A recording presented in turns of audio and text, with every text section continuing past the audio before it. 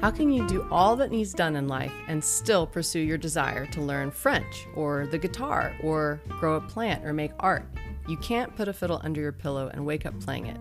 Though, how cool would that be? But one thing we can do, no matter how chaotic and overwhelming life can be, is know that every tiny small motion in the direction of those endeavors really do matter. And not only that, they add up over time with great momentum. Join me, Annie Fain Barralon, as I interview painters and gardeners, designers and musicians, photographers and cooks, creative livers of any kind who have somehow, in the middle of it all, continued on their creative paths, no matter what. This is Fain House Radio, and I'm so glad you're here.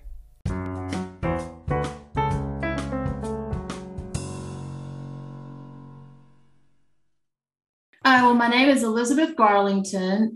My teaching practice and experience in mental health counseling have always been coupled with my visual art making. So I've always coupled money with play, play with money, or I wouldn't do it. And my father, I grew up with a very um, interesting, bombastic, demonstrative father who, who said, you know, play hard at work, work hard at play. So I've never, I've never not incorporated play into my practice as an artist. And I, I really believe that's the real dearth with a, with a lot of people as studio artists is they forget play, play. There's so much pressure as artists with galleries and representation and commission splits and production lines that if I focused on that aspect of my artistry, I would become so overwhelmed, I would be um, incapacitated. How would you describe the main mediums that you work with today? Multimedia, fabric, beads, buttons, thread, uh, wax linen that I learned from you mostly fabric as a substrate, but I also equally love paper and, and handmade papers. Um, anything can become a substrate in my art, and that's why I, I believe my work really is fabric collage or multimedia. What did you think about art and making things with your hands when you were a child? Really, I grew up with crayons in my cradle and books in my crib. My mother was an artist. Both my grandmothers were very accomplished visual artists I was set up into my tree house with watercolors and sketch pads. So I remember uh, my mother teaching our neighborhood kids watercolor in our driveway. So I've never not had studio space. I grew up in a one big studio. So every space I look at is a studio space. And one of these major books in my life, and I think this has a lot to do with studio artistry, is a book called The French Touch and it's a book by um, Daphne de Saint Sauveur, and she looks at interiors as still life. So everything in my life has sort of had a French touch. It's everything as a still life. So I look at rooms as a still life. Even my studio space has to have some comportment of organization and aesthetic. I look at things, how they're composed, what's the texture, what are what are the visual, you know, the principles of design with with arranging furniture and art on walls and gallery spaces. So I think that in, in my childhood, growing up with a mother who was a major designer and architect, I, I look at things very spatially. It sounds like you had 100% and total encouragement. yes, and and hyper criticism from my mother. I got so good at what I was doing, I think she was shocked, actually. So I think there was some healthy uh, mother daughter, eldest eldest daughter competition too. When I when I became a lot more mature in my work in my 30s and 40s, it was an interesting dynamic. Yes. You describe yourself as an impatient, intuitive person, and how does that play out in your artwork? Would you say? I believe I'm impatient in that I'm so highly visual, I almost can visualize the end product of what I am crafting.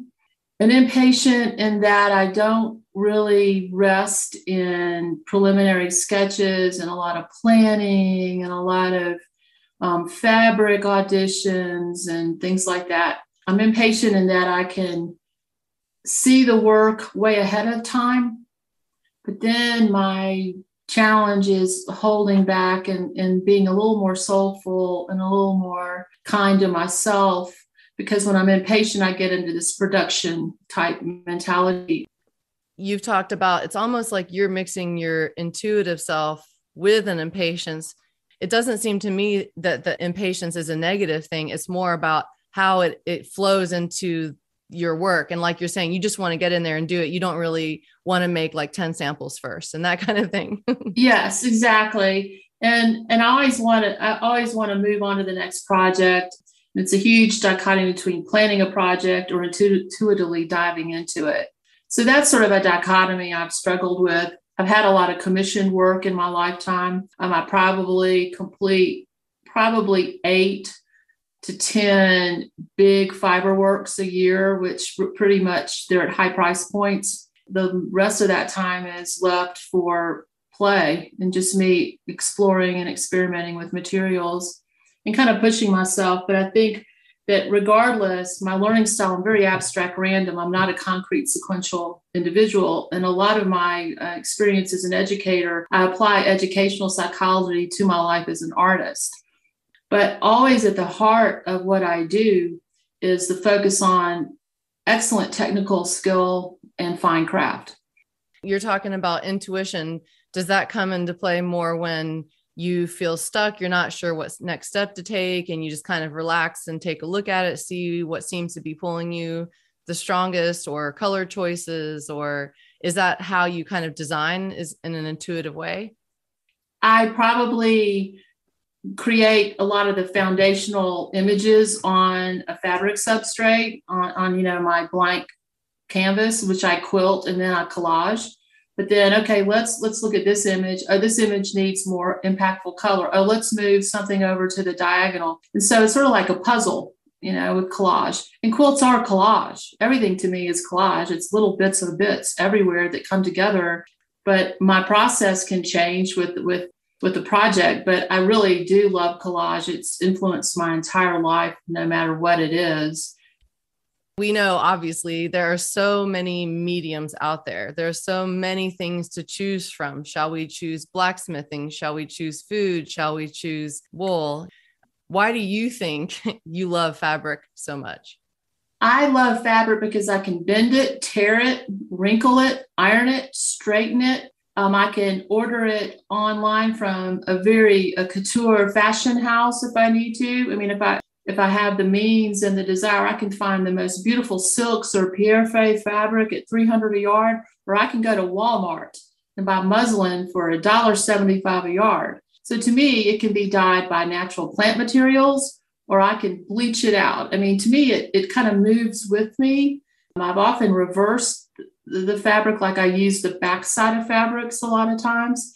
Now I'm experimenting with a lot of linens. I've tried eco printing and it just hasn't caught my heart for some reason. I think probably because I'm very quick and I need immediate process, not, I don't want to look at the mordant and I don't want to steam it and I want, I don't want to wrap it. And the processes to me that are very long and sustaining try my patience. And so I'd rather just buy beautiful red madder linen that's already that beautiful, rich red color so that's sort of the immediate satisfaction I get or the immediate gratification I get. I don't want to go through a lot of processes to, to get my materials ready to, to use and cut and design. You also talk about stitching as meditation. And of course, stitching by hand takes a good amount of time, but it sounds like it's the relaxedness of it that keeps you. Mm-hmm sticking with it, even though it does take, it is very labor intensive to stitch by hand that way. Yes, exactly. That's well said. And I don't, and I don't understand. It could be my age. I'm I'm 62 years old. It's sort of maybe a, a, a maturation of my art making because I've always struggled with machines. And when I first met you with your book arts, I was almost jealous, jealous of the craft where you really are only relying on your hands to produce and make. And I have beautiful machines. I, I have three Berninas and I have a felting machine, embellisher machine. I have a serger. I mean, I have beautiful technical equipment. But when that technical equipment jams or something happens, it, it impedes my my making time with with the process. And so I think uh, my struggle now is balancing the soulful act of handwork with the technical productivity associated with machine work. Both are authentic. Machine work has, was done in the mid 1800s. People were free motion quilting and, and machine quilting in the 1850s. And so the myth that quilts are not authentic unless they're hand done is, is very false. But it's it's sort of how do I combine aesthetically handwork with machine connecting or machine piecing. And then that leads into if we're just making for ourselves versus making a business out of it. And that's a real struggle because in order to take all the time it takes to do it all by hand and then the amount of hours that takes and then if that's what helps pay your bills that's probably too many hours for what the cost would be and i feel like you're really good at mixing creation for sale you know where you got to kind of produce a little more quickly to, for that to make sense and mixing that with making artwork for yourself because you love it so much and it exactly. makes you happy. Exactly. You've talked about the difference between intent to make and waiting for inspiration which is a big difference. This also connects to like whether we're paying our bills with it or just making a sweet life for ourselves with it. Can you talk a little bit about that? The idea of waiting for inspiration versus going in sitting down stepping up to the plate no matter how you're feeling and creating kind of no matter what well first i'm going to say that the intent to make leads to becoming inspired to make and I truly believe there's a discipline to art making. And I think there's another resounding myth out there that an artist is sort of a free wandering spirit. And, you know, when the inspiration kind of hits me, then I might think about, you know, working. And I look at my craft as work, but it's also play at work. And even if I'm not in a place to turn on a sewing machine or thread a needle or look for the wax linen that I cannot find or where'd the paper go, or I'm always in my studio at least four hours a day. It could be reading a book. It could be cleaning up something. It could be, you know, being with my three German shepherds in my studio and just being in there. And usually the place impacts my train of thought I seldom have blocks with where I am in my making process because I do think the process is more important than the product. And the more I focus on process, better the resulting product will be. And so when people ask me as an artist, well, what's your production line? Or you need a production line. I've struggled with that for probably 30 years, and I'm not going to have a production line. I mean, my work is one of a kind. Look at the quilt on the wall as you would read it as a painting and it might it's one of a kind. But the intent and inspiration i can't wait for inspiration because like i said earlier i'm too impatient. But also there's a discipline. I mean i turn on my alarm early in the morning and i'm in my studio whether i want to be or not. And so it's part of my workday. So it is work but then i've got beautiful books and fabric and there's always something to do or fix or learn what does being in the flow mean to you so flow is another another educational psychology theory that I really have applied to both my students, my teaching, and myself. Flow theory was established by a psychologist by the name of Mihaly Csikszentmihalyi, who is from the University of Chicago. When I'm in flow, I have no sense of time with what I'm doing. When I'm in flow, my challenge level meets my ability level. And when I'm in flow, I have no sense of time, which means that I'm exactly where I need to be and I'm doing exactly what I need to be doing. When I'm stressed, when I'm stressed out, my ability level is beneath my challenge level. When I'm bored, my challenge level exceeds my ability level. So, flow for me is this perfect balance of materials meet my ability, meet my product, meet my process.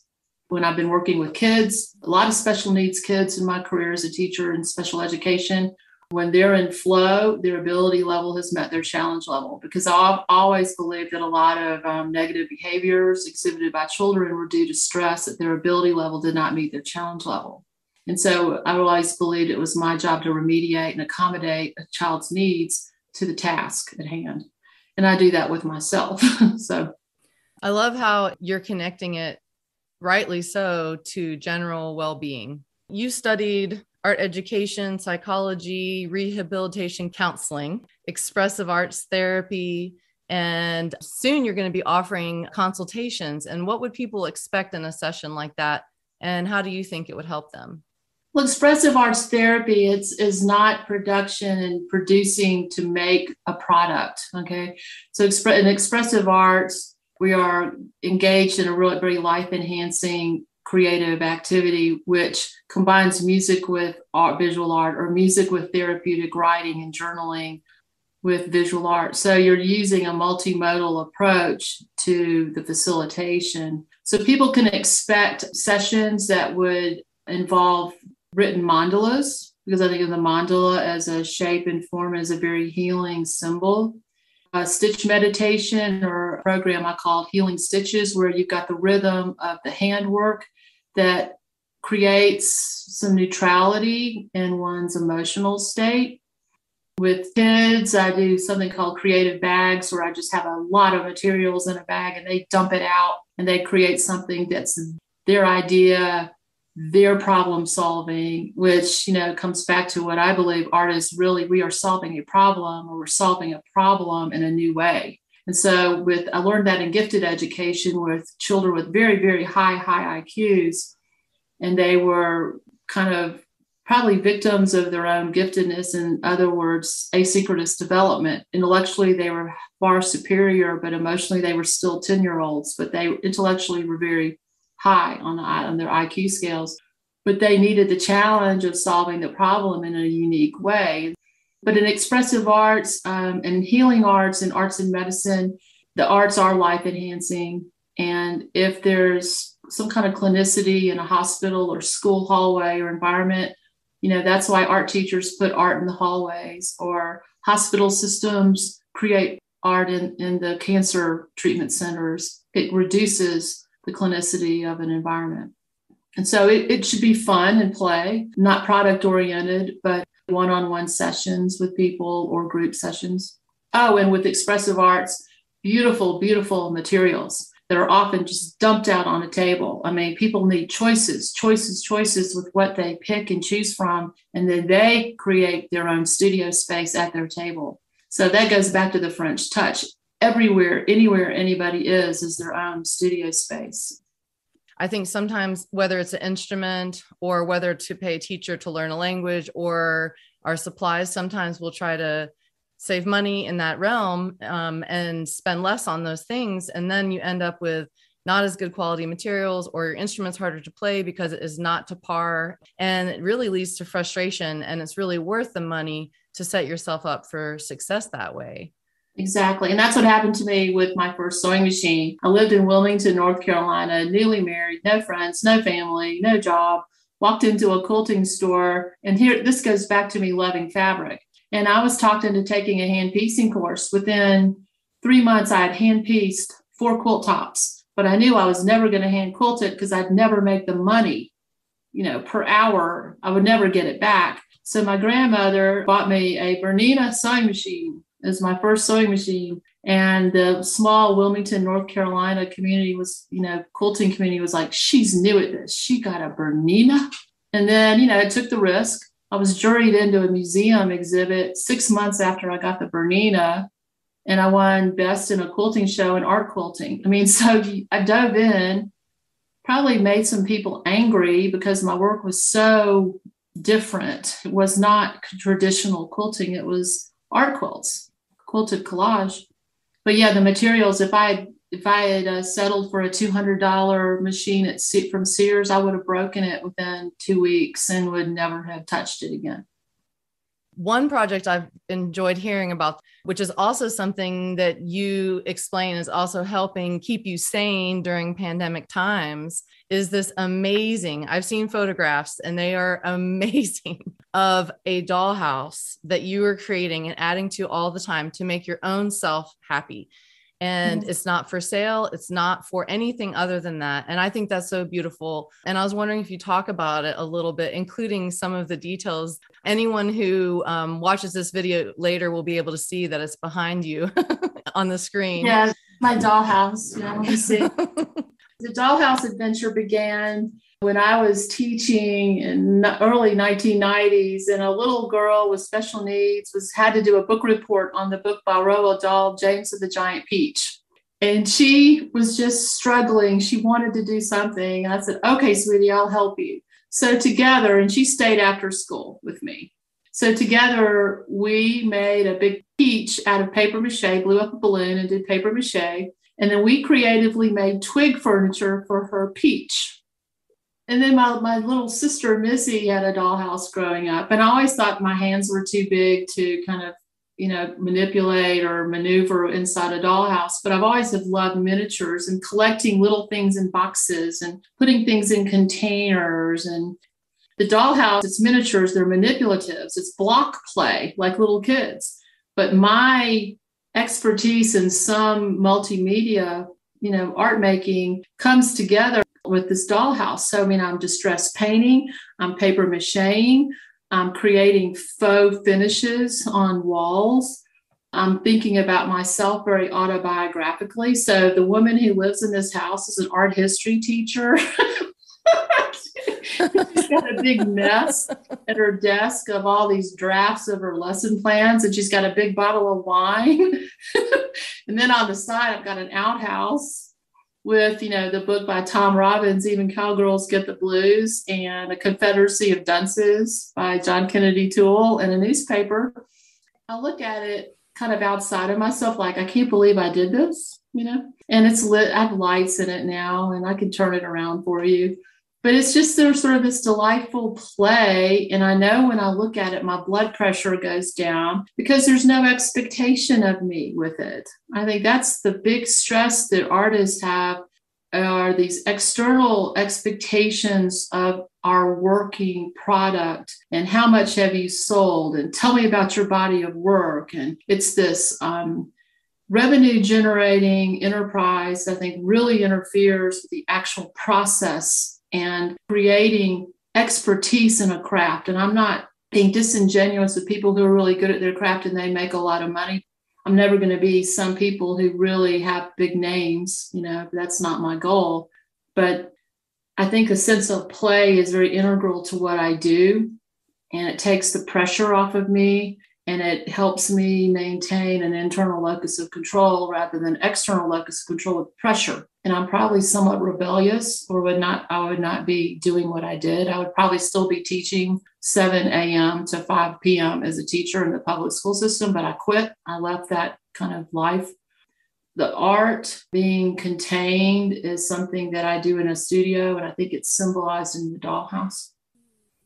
It's fun because it's almost like you're creating your own delight, your own delightful situation by working on this dollhouse. And it's also ongoing. You could always add and add and add to it like it's never over. And you talked about little boots that have the mud on the soles, mm-hmm. and you shrunk down images to put them on plates to create your own china. I mean, it's amazing thing. And I love hearing about any project that makes somebody so happy. a little, probably a little bit more than play for me because I did start the dollhouse uh, when my mother, when I got obtained legal guardianship for my mother, she was in stage Parkinson's disease and dementia. So the dollhouse also was a huge aspect of my grief process with my mother's dementia.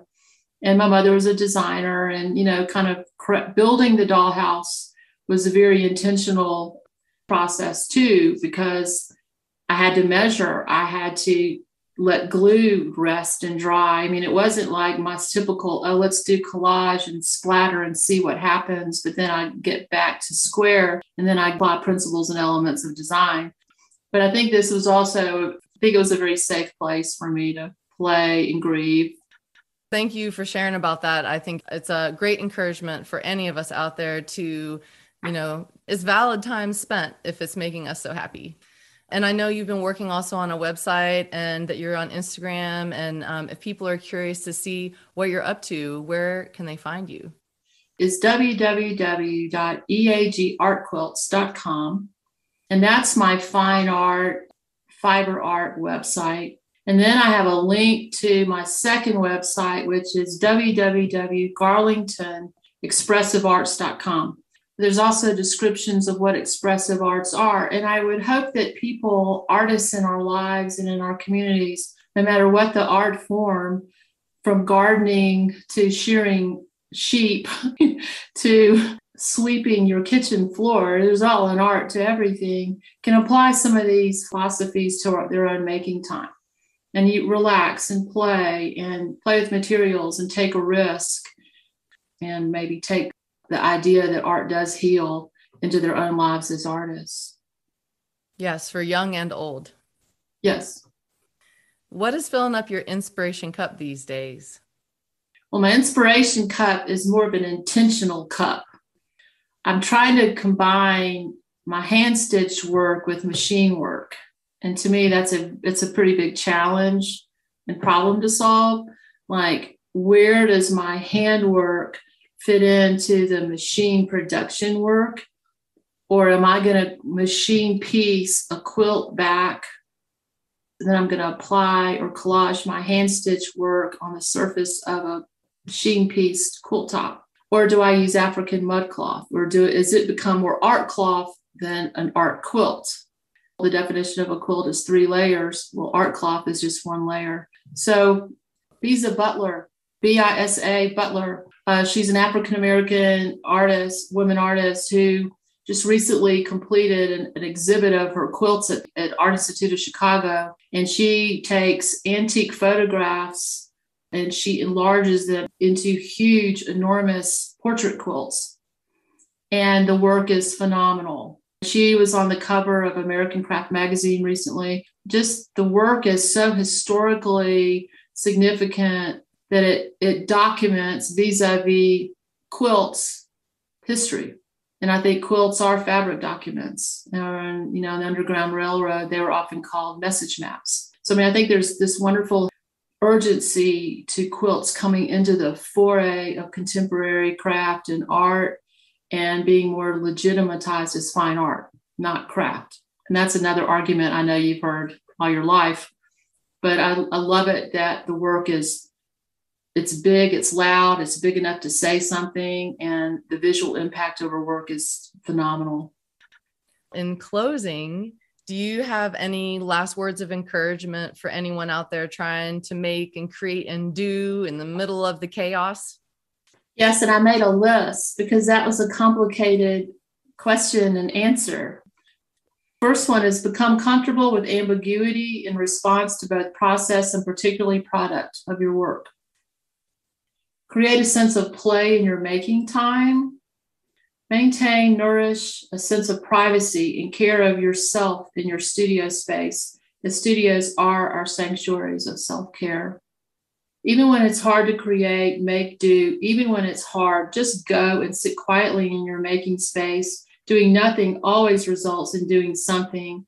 The quiet, inactive times are our creative hibernation fermentation process hibernation fermentation process.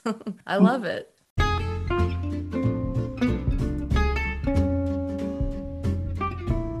If you would like to be in touch or have someone you would love to hear interviewed, email me at afainhouse at gmail.com. I also hope that you're inspired to rate, review, and subscribe to this podcast. New episodes come out every other Tuesday. If you would like to watch these interviews in video form and are curious about the happenings of my little business called Fain House, where I paint and make art prints and gift cards from my watercolor originals, I'd love for you to sign up for my email list. When you do, you get a coupon for 10% off a one time purchase in my Etsy shop and first dibs on my annual limited edition calendar printing. You will also be granted access to our free private Facebook group, which is the one spot you can watch these interviews. If this all sounds fun to you, go to your web browser and type bit.ly backslash fainhouse to sign up. That's with a capital F and a capital H in Fain House. This is not a weekly newsletter, but rather a list of folks who are interested in hearing from me time to time. You can find this link, as well as links for each person I interview, in the show notes of each episode. I'm Annie Fain Barralon. Thanks so much for listening, and I'll leave you with a quote for the day. Your vision will become clear only when you can look into your own heart. Who looks outside dreams, who looks inside awakes. Carl Jung.